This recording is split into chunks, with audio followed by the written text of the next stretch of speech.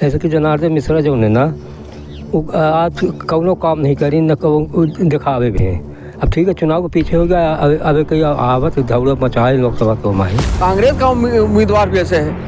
वो भी इधर उधर रोज नाचता कूदता है। आज भाजपा काल कांग्रेस, पर कुछ खरीदना, फूकना, देखना, केजरीवाल छठा खोटा आदमी है, पढ़ा लिखा आदमी है, और उच्च अधिकारी, उसकी औरत भी अधिकारी है, और पैसा वैसा बहुत खाया उसने।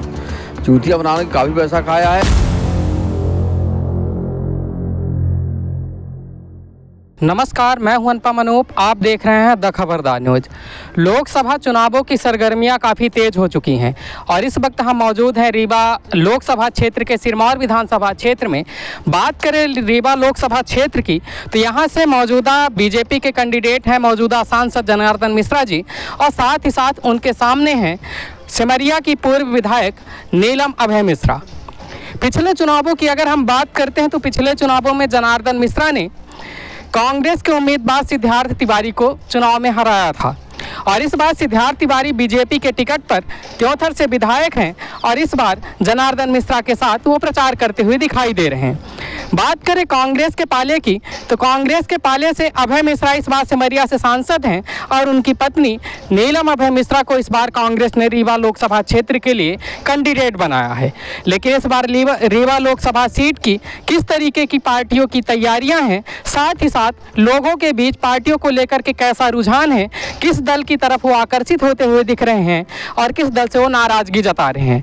इन सारे मुद्दों की बातचीत हम यहाँ पर करने वाले हैं। तो सबसे पहले तो आप लोगों का स्वागत है द खबरदार न्यूज़ पर। सबसे पहले आपका परिचय जानना चाहेंगे। मैं सुरेश प्रजापति।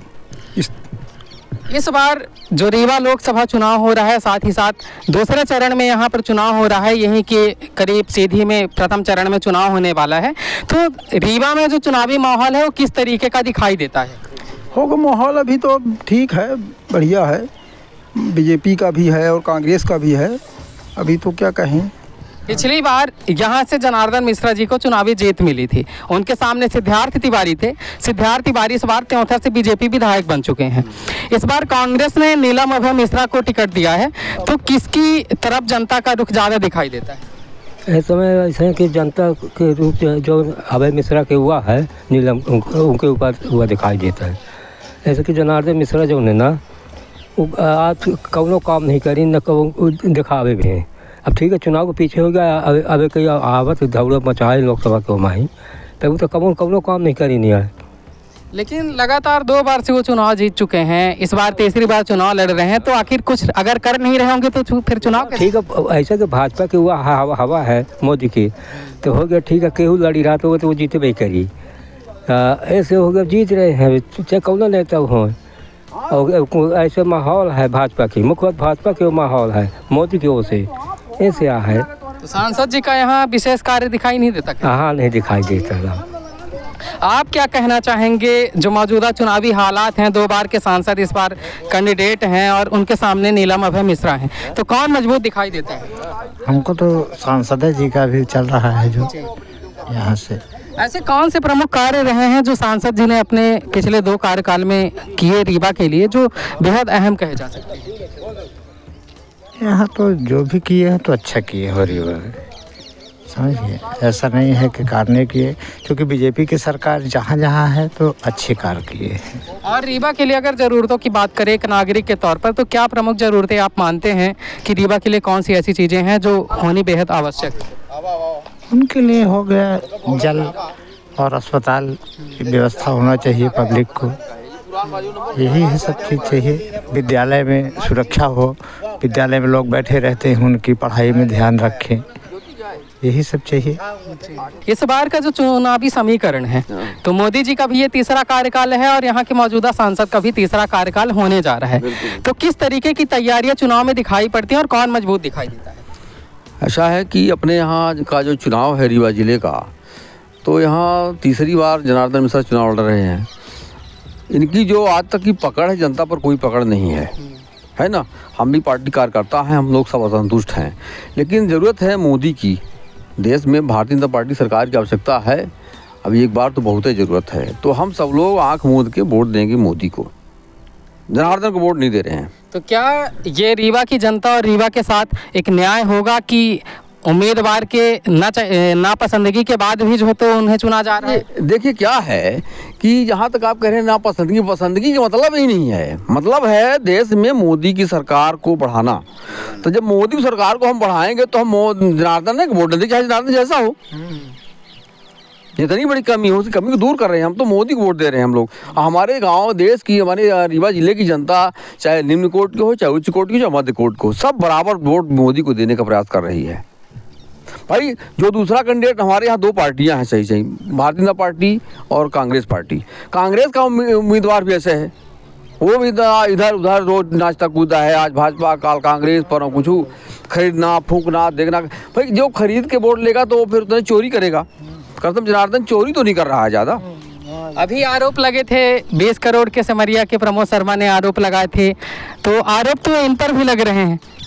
अभी तो अभी आज मैं मीटिंग में था तो कह रहे हैं कि हम तो रीवा, हमारा कोई मकान नहीं है, न रीवा हमारी कोई ज़मीन है। जनार्दन जी तो ये कह रहे हैं कि हमने कोई चोरी नहीं किया, ना कोई हमारे पास आजकल ज़्यादा संपत्ति है। यहाँ जब वो कह रहे हैं कि हमारे लिए शहर में ज़मीनें नहीं है, मकान नहीं है तो उसने क्या चोरी किया? और वैसे अब कोई चोरी उनकी पकड़ के बताए तो समझ में आएगा, लेकिन अभी कोई चोरी उनकी पकड़ में नहीं आ रही है। तो उसको हम क्या माने? हाँ ये ज़रूर है कि जड़ प्रवृत्ति के हैं, जनता पर उनका कोई लोच लगाव नहीं है। और जनता के लिए वो बहुत खतरनाक आदमी है। लेकिन जैसे आप आप छोटे-मोटे आप काम कह को काम नहीं करेंगे भटिया देंगे इधर उधर कर देंगे लेकिन हाँ मोदी की आवश्यकता है देश को तो वोट वोट तो हमें अब इसी को देना पड़ेगा अपने जनार्दन मिश्रे को। जैसे आप कह रहे हैं कि उनके ऊपर आरोप लगाए गए हैं आरोप किसी भी प्रकार से सिद्ध नहीं हुए हैं। दिल्ली में भी ठीक इसी तरीके से अभी हो रहा है। केजरीवाल पर आरोप है ईडी ने उनको गिरफ़्तार किया हुआ है कस्टडी पे रखा है जबकि अभी तक कोई भी आरोप सिद्ध नहीं हुए हैं। तो वहाँ पर एक दूसरा स्टैंड है यहाँ पर एक दूसरा स्टैंड है तो किस तरीके से इसको बैठा देखिए जहाँ तक आप इसकी बात कर रहे हैं क्या नाम बताए? केजरीवाल। केजरीवाल। केजरीवाल छठा खोटा आदमी है पढ़ा लिखा आदमी है और उच्च अधिकारी उसकी औरत भी अधिकारी है और पैसा वैसा बहुत खाया उसने। चूतिया बनाने का काफ़ी पैसा खाया है और देखिए क्या है मोदी जी गलत काम नहीं करते हैं। मोदी जी अपने देश की बहुत अद्भुत शक्ति है। और ऐसा कोई किसी को लाछन लगाता है। उनकी पकड़ है पैसा काफ़ी चोरी किए हैं, काफ़ी अपना इधर उधर किए हैं, इसीलिए उनको ऐसा किया गया है और नहीं ऐसा नहीं किसी कोई लाछन नहीं लगा सकता है। हमारी समझ से तो उसने काफ़ी इधर उधर किया है। आपका क्या मानना है? एक एक एक मिनट एक मिनट। आपका क्या मानना है इस मामले में?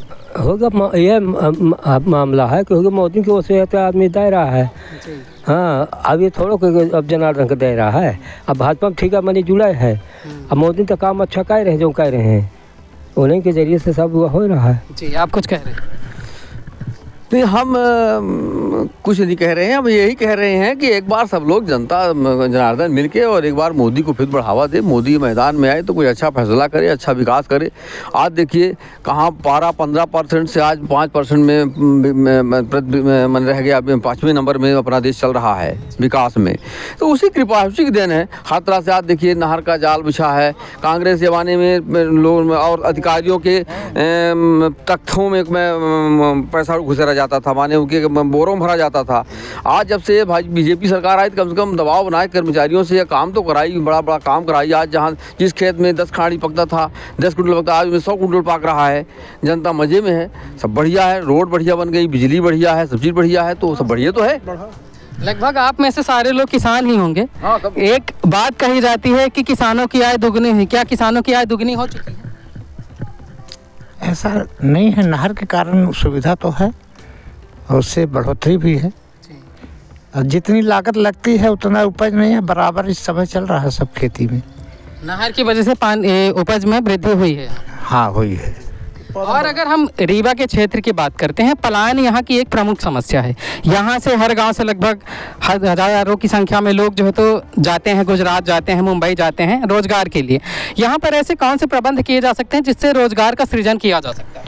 क्योंकि अब इस धरती में ऐसे कुछ औद्योगिक वो है नहीं, कहीं ऐसे कुछ चीज़ कुछ कंपनी या फैक्ट्री बैठ सकें।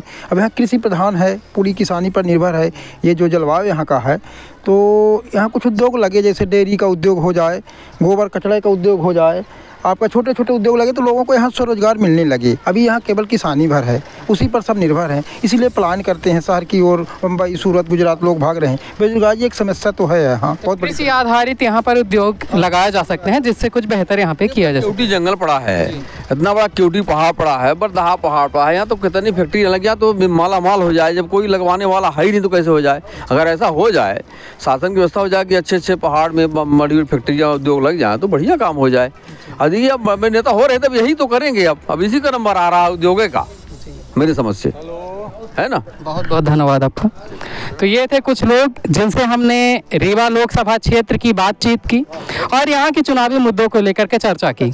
बने रहे द खबरदार न्यूज़ के साथ। नमस्कार धन्यवाद।